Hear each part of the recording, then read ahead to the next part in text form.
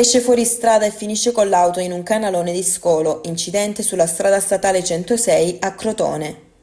Incidente stradale sulla strada statale 106 a Crotone. Una chiamata alla sala operativa dei Vigili del Fuoco di Crotone segnalava un incidente stradale sulla vecchia strada statale 106 in via degli Eucaliptus.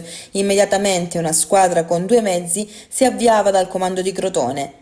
All'arrivo sul posto, nel punto segnalato, vi era una vettura Volkswagen Golf uscita fuori strada e finita in un canalone di scolo. All'interno della stessa una sola persona, AG, 72 anni, originario di Crotone, impossibilitato ad uscire.